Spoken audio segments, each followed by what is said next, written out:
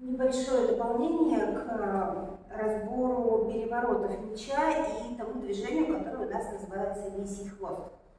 А, напомню, что вот этот переворот мяча, это мы считаем флорео. Вот этот переворот мяча в обратную сторону мы называем реверс флорео. По крайней мере, в нашем коллективе это так. Вот это, это тот же самый переворот мяча, только перед собой. И э, есть еще движение, когда вы делаете один переворот мяча, убираете меч вниз, разворачиваете, делаете второй переворот мяча, поднимаете наверх. И оттуда заводите и зацикливаете это движение. Вот это у нас лисий хвост. Э, сильно подробно его разбирать не буду. Э, на самом деле вы можете поискать аналогичные вещи э, в каких-то других стилях, возможно, в фаер-шоу, по фланкировке или еще где-то. По мечам, по нашим мечам, у меня и вот именно видение моего коллектива, я даю то, как видим это мы. А, движения немного отличаются, допустим, от той же самой фланкировки. Но это связано с тем, что мечи у нас изогнутые, тяжелые и у них широкое лезвие. Поэтому самое главное, зачем нам нужно следить, это за тем, чтобы меч шел плоскости зрителя, чтобы он у нас не опрокидывался раньше времени в бок куда-то. Но опять же, это еще дополнительная нагрузка на запястье. Мы ведем меч вперед, переворачиваем его либо в горизонте, либо есть еще вариант перевернуть сразу наверху. То есть вот это движение сделать, пока меч находится вертикально. Но в любом случае зритель всегда будет видеть вот такую более широкую часть, чем вот это. Да? Я делаю вот этот переворот больше в горизонте. Потом меч уходит назад, наверх, уходит за спину. Здесь а, то, что мы называем лисий хвост, у нас хвостик машет по полу, как будто подметает пол. Когда меч уходит за спину, там очень небольшое движение, мы не поднимаем этот хвост наверх. Почему? Потому что мы танцуем, как правило, с партнерами, а не соло. Дистанция у нас достаточно близкая, практически сохраняем АТС-дистанцию, то есть это дистанция вытянутой руки. Если добавить туда еще объемное движение мячами, то, в общем-то, это становится травмоопасным. Поэтому э, вот это движение у нас делается практически по полу. Раз, два, и вот маленькая петелька такая сзади, кружочек, как будто бы я что-то на земле там нарисовала. Вот это и есть хвостик.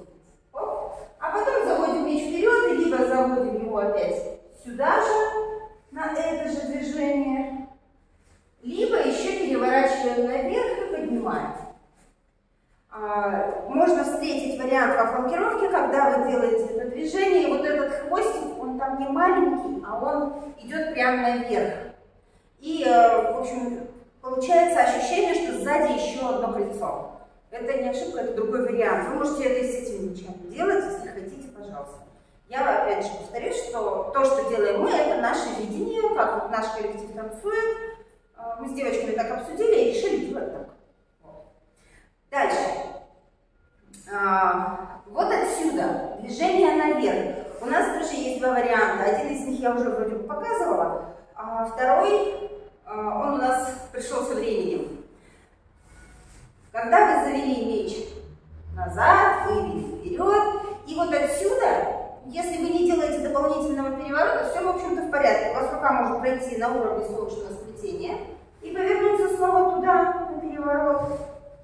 Вот будет такое движение небольшое. Или может пойти прямо наверх.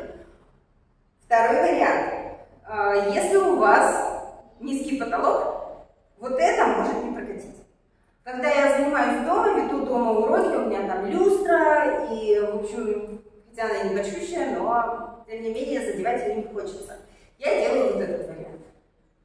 Когда я занимаюсь в зале, здесь я могу поднять меч, и мне надо, допустим, подпрыгнуть, чтобы достать до потолка. Кто-то повыше там легко достанет до потолка, вытянув меч, но, тем не менее, не задевает э, потолок, даже делая вот это движение над головой. Вот, наверх. Вот вам два варианта такого простого лисьего хвоста и более выпендрежный вариант, когда спереди вы делаете еще одно движение наверх. Здесь вариант для низкого потолка, один вариант для высокого потолка. Сейчас мы в основном делаем именно второй вариант, а где-то в предыдущих уроках у меня записан как раз первый. Раз, два, три, четыре. Вот отсюда вы довели меч. И отсюда вы можете выйти, знаете, ощущение вот подзатыльника. Это как раз вариант низкий потолок. То есть ваш меч проходит над головой, и отсюда вы его опускаете и э, ничего там не задеваете. Перевернули. И меч идет в сторону вашей головы, только что предусмотрительно так слегка приподнимите руку, чтобы он прошел над головой, не зайдите себе по голове. Развернулись и вывели вниз. Давайте со спины покажу. И раз, два, три, четыре. И вот он пошел вместе со мной. Второй вариант, если у вас объемы пространства позволяют, то это уличный вариант очень хороший. Вот отсюда меч не останавливается в горизонте, а летит вверх, как будто вам в лоб. Отсюда он просто, вот руку поднимите повыше, но не заводите ее за голову, сразу говорю, я вижу свою руку, а меч просто падает назад, и я за ним поворачиваю. Все. И тогда создается ощущение, что сверху еще одна, один, а, одна петля такая получается ну, за головой. Самая частая ошибка здесь – это попытка убрать руку вот туда за голову. Ну, это даже бывают успешные попытки, люди убирают руку за голову. Но смотрится это очень напряжно, на мой взгляд. На мой взгляд, может вам нравится. А, я предпочитаю руки держать всегда перед собой, когда работаю с мячом, чтобы они всегда были где-то вот здесь, максимум, это вот центр головы. Уже дальше назад туда руки не заходят. Так что вот. Раз, два, три, четыре, наверх. И он просто падает, и я вместе с ним поворачиваюсь.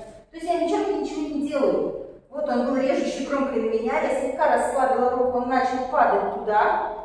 Я развернулась, и дальше мне осталось запустить его. Сжать пальчики, задать инерцию его центру и начать опускать руку. Все. Можно сделать даже тяжелым а, мечом. Вот я сейчас работаю мечом, опять же, пакистанским. То есть он весит кило 200, кило 300 примерно, там плюс-минус. А, можно делать легкими мечами 700-800 грамм и 200 грамм, там будет скорость выше. А, но в любом случае лучше работать относительно центра тяжести оружия, это безопаснее для ваших суставов. Расслабляйте руку, двигайте руку вокруг центра мяча, запускайте центр мяча и двигайтесь за ним, отпускайте меч, в общем, берегите свои э, мышцы суставов. Еще раз.